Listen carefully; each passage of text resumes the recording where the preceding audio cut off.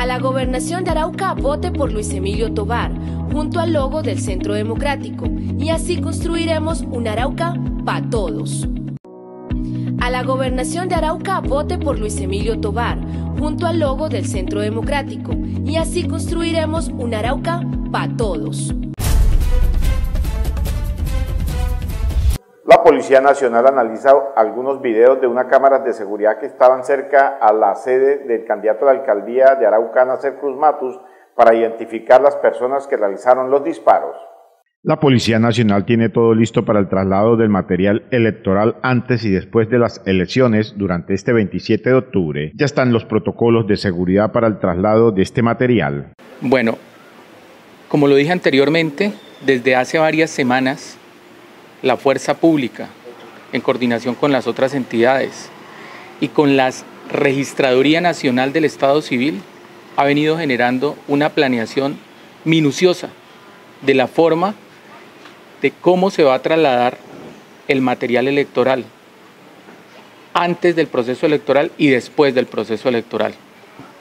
Eh, se han realizado varias reuniones y han quedado totalmente establecidas los protocolos para garantizar la seguridad de la documentación y el material electoral. En estos municipios, específicamente en Fortul y Arauquita, eh, la Policía Nacional y las Fuerzas Militares han dispuesto de un apoyo especial para garantizar que no haya ninguna afectación al certamen democrático. De otro lado, el comandante del Departamento de Policía de Arauca, coronel Darío López, dijo que se investiga la situación que se presentó con algunos disparos al frente de una sede política. Bueno, nos permitimos informar que eh, se está investigando esta situación, que se trató de unos disparos eh, de proyectiles de salva, eh, no es material de guerra. El evento se presenta eh, en un lugar cercano a la sede política, pero no está establecido que se trate de algún atentado o de algún ataque contra la sede política. Eso hay que descartarlo totalmente y estamos hablando de que la persona que realizó estos disparos utilizó armas no letales. Por lo tanto, no podemos estar hablando de ningún ataque o de ningún atentado. Y esto se presenta en cercanías a la sede política, lo cual no quiere decir que vaya que esto haya sido dirigido contra esta instalación o contra alguno o contra algún candidato. Estamos investigando, eh, nuestras capacidades de policía judicial están orientando este. El alto oficial señaló que se verifica algunos videos para identificar las personas que realizaron los disparos en la sede del partido de la U. Eh, precisamente estamos verificando eh, la persona que realizó esto, qué intención tenía.